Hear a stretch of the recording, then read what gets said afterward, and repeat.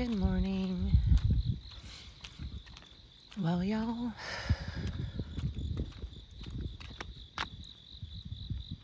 I think this is my last sunrise at Ebenezer Park for a while. And I'm not sure how much of the sunrise we will see, but I came anyway. I came a little earlier than usual because I was up and I said, why not get out there earlier than usual? Soak in as much as you can for as long as you can because this will be off limits for an undisclosed amount of time for me, us.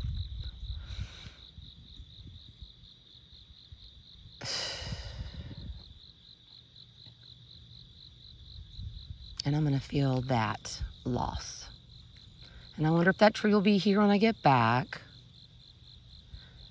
And I hope this stays the same because I really like this area. I want there to be like, I vision concerts, and some of you have probably been out here for concerts.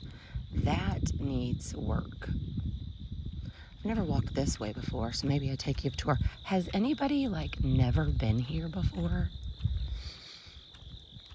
It's quite beautiful. This is my favorite plant here. Isn't it pretty? The purple, like, berries.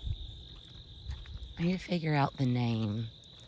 I think it'd be fun to have a little, like the horticulture class, put names of plants. Because I want to buy one of those purple berried plants, but I don't know what it's called. Ooh, I wonder how many of y'all have played basketball on this court off limits. So where are you gonna go now?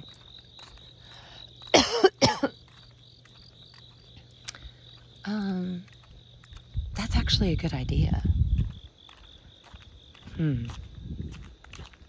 So, is there a place in town? Well, of course, there's a place in town. There's places. Where are the places in town that those of you who play basketball play basketball. Where do you play? Obviously, it's school. Um,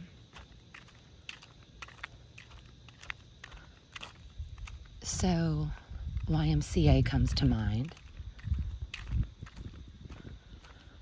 Um, obviously, the neighborhoods have basketball courts, I noticed. Or you can just put it at the end of your driveway or in the middle of the street. How about how many of y'all fish? This is usually where we would go. We used to have to put our boat in the water there. I can back a trailer. Who knows how to back a trailer? Any volleyball players in the house? I know I have some. Male and female, thank you very much. Still need to go to your game. I really do want to see all y'all do your thing. That's my point. I would love to see y'all do your thing. I need dancers in the house. Oh, there's the guy. See, one day when I get older and I get to retire and I get to do what I want all day long, this is part of the job. Campground host and hostess clean the bathrooms. Yep, that will be me. That will be my husband. How fun will that be? This is what's going to be, this is what's going to be changed. This is going to be new. This is going away. It's old. I wonder how old this is. Either way, it's going to be gone. And it really does need a facelift. And the playground, and the swings, and the are those things called? Shelters? Mm. I don't know what else that would be called. But either way, I'm sure some, many of you probably had many a family reunion, birthday party, graduation parties. Oh, graduation parties won't be out here. Oh my gosh. Mm. Okay, now you can feel the wind. See, like this is just, mm, mm-mm. Now this, that's my favorite. I don't, mm. They have church out here on Sundays. Did y'all know that? Yeah, this place, mm. I'm just gonna go this way because I feel like I need to have a moment in every little spot. Like I'm just kind of giving thanks to each of the areas. My kids played on this, so cute.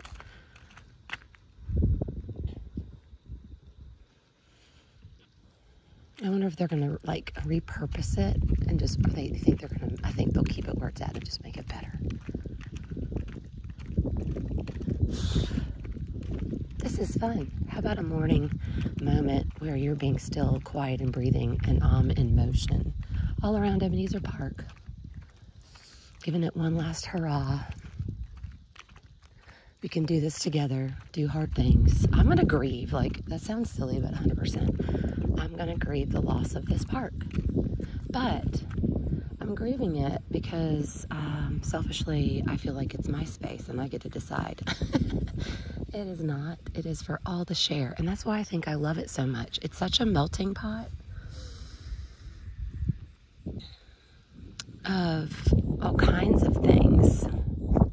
Have y'all ever been out here? This will be fun. I noticed the geese are gone.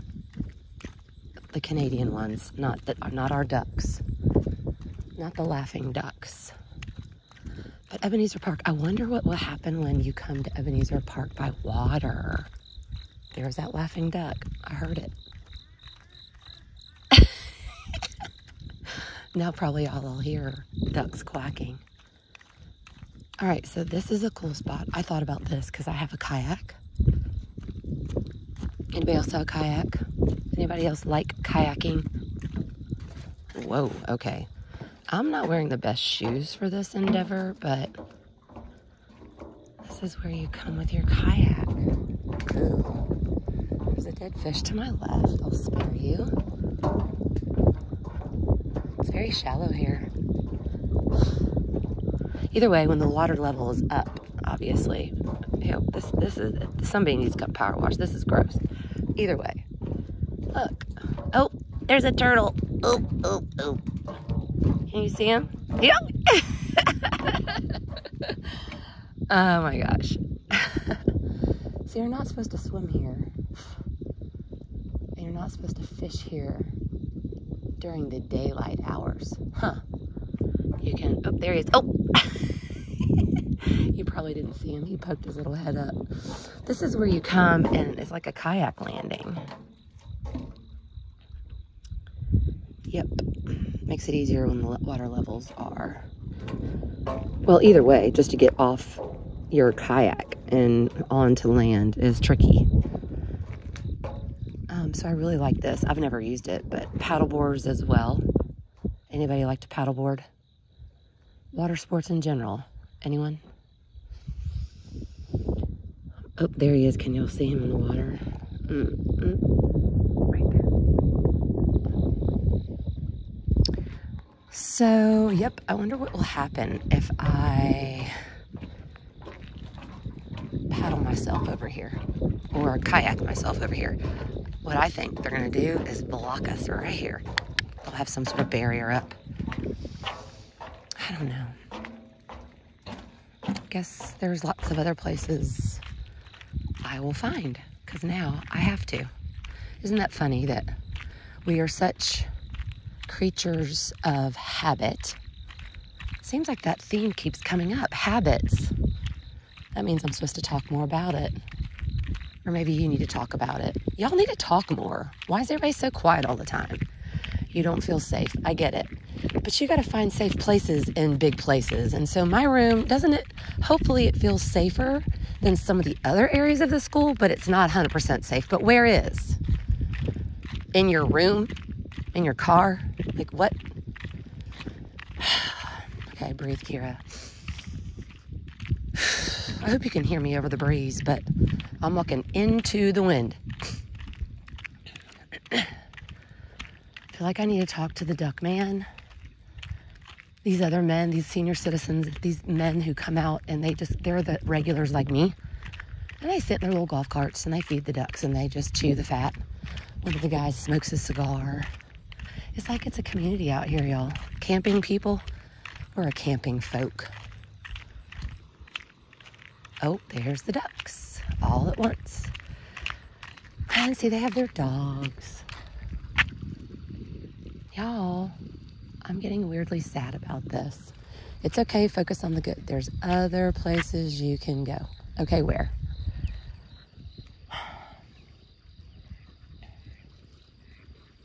Well, anyone that lives on the lake would happily give you access. You sure about that? Yes. But when? I can't come and go as I please. I want to go whenever I want. Okay. There's other places you can go. So, I guess what I'm saying is, y'all, habits are good and habits are bad. Got to figure out which is which. Cut off like that dead tree limb, the ones that are bad. Allow room for a new habit to grow. It could be an offspring of that habit that used to be good, but then it turned bad. Can, tur- can there be habits that are good, but then they turn bad? Are there habits that start off as a good habit, but then turn bad? Is that a thing? Probably. Yep. Because we're humans. And that's that's what sin does. That's what flesh does. That's what humans do because we're imperfect. Right? Can I get an amen? How are you breathing? Even breathing poorly. Oh, he's like,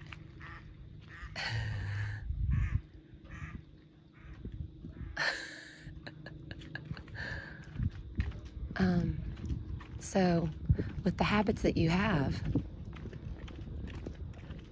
check them. If you're not sure if they're good, ask somebody. I mean, what's what what good is coming from this habit? You might need to make a T chart. um, I don't know. Oh, there's a sunrise happening back there, y'all. I know it. You can tell. How can you tell there's a sunrise happening?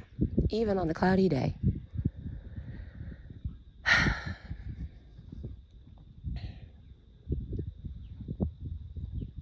I'm glad I saw yesterday's sunrise. We'll just see the sunrise from a different perspective. Yeah? Yes. A different perspective. Not a bad thing. We are creatures of habit and we love our creature comforts, don't we? We like to feel comfortable.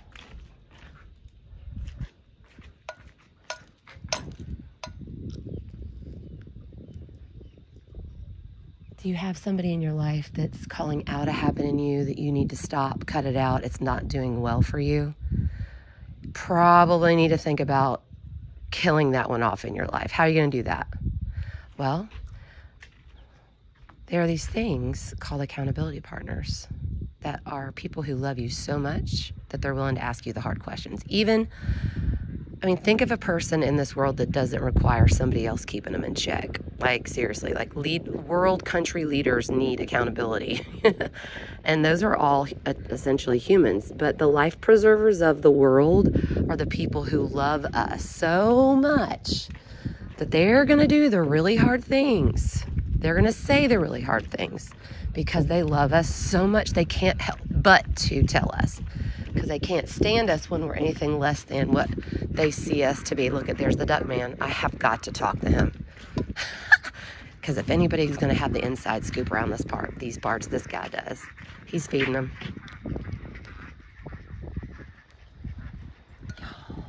I just thought about this. Who's to feed the ducks? He's to come out here. I know he is. There he goes. Feeds them a whole loaf of bread and they're so happy. I'll bet you these ducks will be seeking after this man. I need to find out where he what he's gonna do. He gets to be here even more than me. Oh wow, 14 minutes. Oh my goodness. Listen, y'all, y'all are along for the long, the end game here. Because that's what matters is the end game. How you going to be remembered? Why is everything so zoomed in? Oh, wow. I must have touched my screen somewhere along the way. Oof.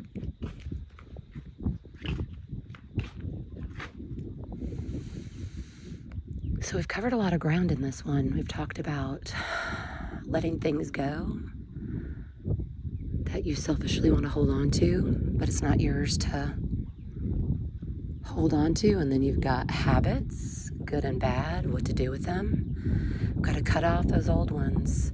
Sometimes you can't have it, you got to get it from the root so it doesn't grow back. There is no offspring of that habit. It was bad the whole time. And then what you do is you dig it up. There's a hole there. You put some fresh soil and fertilizer in there, and you plant a new seed, a new habit. And you nurture that habit. Is it a pain in the butt? Yes, it is hard to start a new habit, especially getting up before school to go work out. Come on. Especially coming out somewhere to watch a sunrise. That's a sacrifice, but it's good. It's worth it. It's worth the investment, yeah? And so many of these habits are not costly financially. They're free. It's just the hard one. We have to do it ourselves. We have to find it within ourselves. The currency is us. Oh, here he comes. I have, oh, there he goes. I need to go talk to the duck man. I wonder if I can chase him down. Oh, he's on the phone. Hmm. Nope, I can't. I'm not going. I'm not going to go running after a golf cart.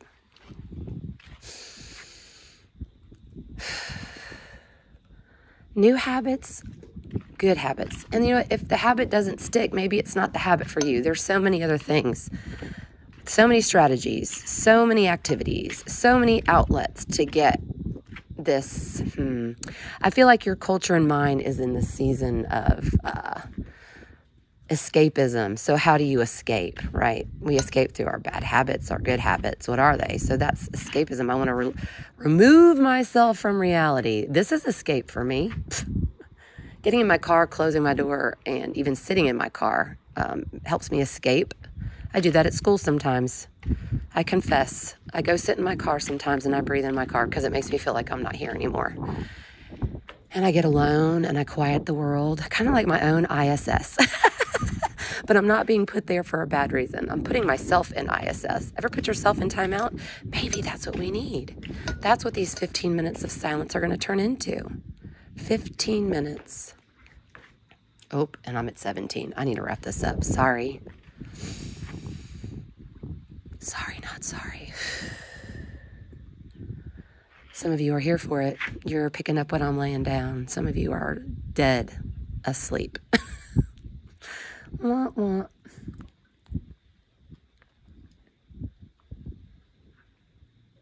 Find the life preservers that have been placed all around you. They're strategic. Your parents, a lot of times, will put a life preserver that looks like them but isn't them in your life, that looks like a person. Maybe it's a grandparent, maybe it's an auntie, maybe it's a, a, a neighbor, maybe it's a peer, maybe it's a teacher. Life preservers look like people. sometimes we point to other life preservers. Like I can tell you, life preservers for me is my therapy. I love, there's our friends. I bet y'all can't see them as well as I can. Maybe that's when I zoomed in. I zoomed in and I forgot I zoomed in. Our friend the heron. Maybe I'll go do this from the other perspective, which is over there, is the lake club. That's where I could go.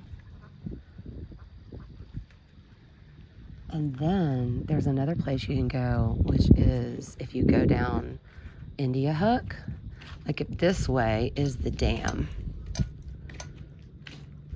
And there's a place you can get in the water there, kayak and such. There's bathrooms. It's going to be so crowded because it's so small, but it's so fabulous. Um, anybody live on the lake? um, and then there's other places to go around town. Fountain Park is glorious in the morning. Mm, that waterfall, I'm sorry, water fountain. So, what are the new habits? What are the life preservers? Look around you. Maybe your life life preserver looks like your phone to you.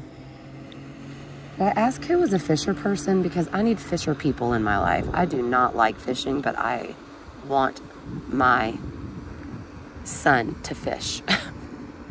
Seems like a good activity. It's a good habit. Because then you can eat what you catch. That seems good to me. So if your phone is your habit, and let's be honest, we all have it, then ugh, the next word that we should be talking about is what I'm talking about in therapy, which is boundaries. What boundaries need to be put up on those habits that are good but are very slippery slopes to bad? I don't know. Like your phone. What's your boundary? Do you give yourself screen time? Hmm. Do you have something that literally shuts your phone off? because I'll bet if we don't have those things that literally make our phones useless, like it's dead and there's no power, or it's been stolen or lost or locked up or whatever, we don't really know what it's like to not have it. you have to go without these things for a while to know that it's turned into a habit where you're like craving it Oh, the yellow jacket's back, of course. Thank you, Mr. Yellow Jacket. This might be what I do on, on class when I don't have a teacher. Just play the video. I talk for 90 minutes. the yellow jacket. Did he make his way onto the screen or is he trying to eat my coffee? I don't like my coffee today. I put something in it that made it gross, but it's fine. I'm choking it down. Y'all, the yellow jacket. I'm going to end with the story of the yellow jacket, and I'm just going to rock gently. I hope I don't make you sick. And we're going to hope that we get a glimmer of some sort of something. But you know what? I need you to remember that even on these cloudy days, what I'm trying to remember is the sun is still a shining. It's behind there. I can see it. It's like a peekaboo up there, but mm, it's foggy. It's not clear. I want to burst into song, but I will not do it. But it says something like, I can see clearly now. The rain is gone. Mm. I might need to play some classic music. How's that musical list coming? I need someone to help me make that happen. I need music from your family reunion that you like to listen to. You know, the good ones, some classics. the yellow jacket. It follows me, right? Yellow jackets were keeping people, well, Yellow Jackets make themselves known when they when they're around, and they're around a lot at school. I want you to remember that there's Yellow Jackets figuratively speaking in your life. So, like, I don't have a yellow jacket around me right now, but if I did have a yellow jacket, metaphorically speaking, it would be that thing, that bad habit, that person, that toxic thing that could sting us and really send us in a downward spiral, or if nothing else, lead us into a place where we really don't want to be ISS, prison, dead. I don't know. Think the worst case scenario. So that thing has the ability to sting us. And it's like making itself known. Like when you have your phone stripped away from you, you once you start to miss it, you start to feel it, right? You start to, mm, I want it. Why do you want it? What's the motivation behind the desire? That's good. Write that down. What's the motivation behind this desire? Is it selfish or is it selfless? Is it to help me and others around me or is it to, um, I don't know, any type of deceptive or destructive type of a motivation? or elevating self and diminishing others type of a motive. I digress. The yellow jackets of life, we can close our eyes so we don't see them. We have to replace that image of them or that thing with something else. And we breathe in, and as we breathe in, we ground ourselves so we have a sure foundation. Our feet Maybe we're even sitting, maybe we're lying down, but somewhere where we are posturing ourselves to receive what good deep breaths can only give us, which is so many things. So many things when we breathe in through our noses and we breathe wide and big and fully, and then we sometimes hold it And how we release that breath matters. It might be fire breath, it might be a slow, controlled, but it might just be easy. And that's what we do when the yellow jacket comes around. We close our eyes and we take a breath as best as we can in that moment. And I don't breathe. This is why my voice hurts. This is why my vocal cords are shredded at the end of the week. And I'm froggy today. Keeps me from singing at church. I don't like it.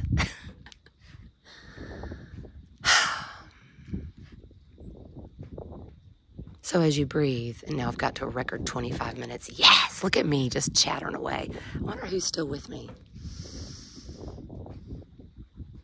Hmm.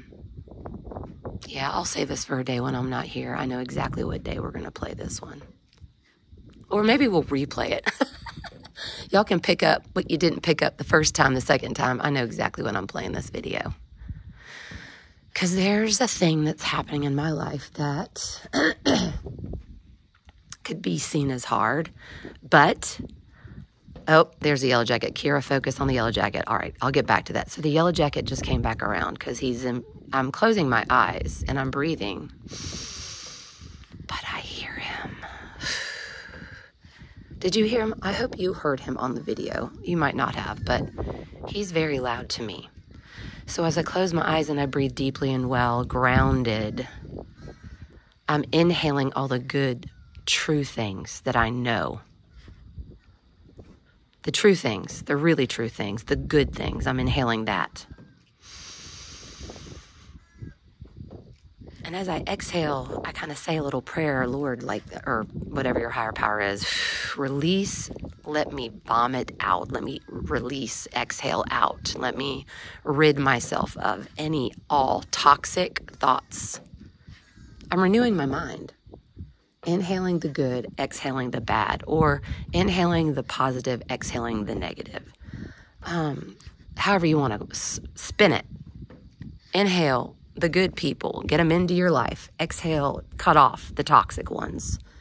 Inhale new seeds of that represent habits in our lives where we have plucked up and cut up and chopped up, dug up old bad habits releasing those bad habits back to where they belong, not around us, and putting life preservers in our path that would nurture us and keep us safe and tell us the hard things, the blind spots. They would love us when we are unlovable. They would pray for us or intercede on our behalf when we're not advocating for ourselves. Um, they're the ones that point, shove, and direct us into groups of people that we don't want to hang out with, but we probably know we should should, but I mean, we feel a certain kind of way around these groups of people. What is that way? Judged?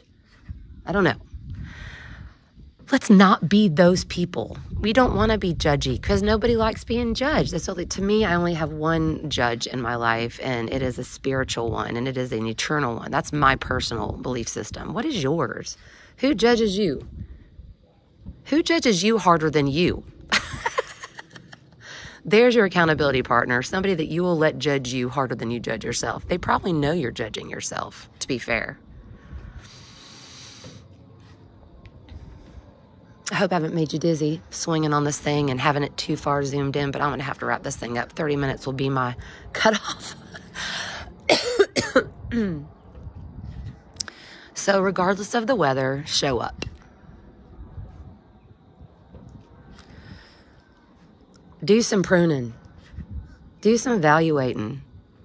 What areas of my life need to be cut off and burned in a fire? We should have a bonfire. Can we have a class bonfire somewhere? That would be fun. bonfire moments. Could be family consumer science, FCA. FCA needs to have a bonfire. Ooh, I need to talk to Mr. Abraham about this. This is a good idea, but it's not a safe idea. But you know what? Sometimes you got to get yourself to an unsafe place of growth to do something really powerful. So put those people in your life, get those accountability partners, dig into something bigger and greater than yourself because I promise you, life is going to knock you down at some point. And then what do you do then? You got people to help pick you up. Look around. Know that you're loved. You're not alone. That you are never too far away. You're always worth saving. And breathe well, because while you breathe, you have hope. I love you. Have an awesome day.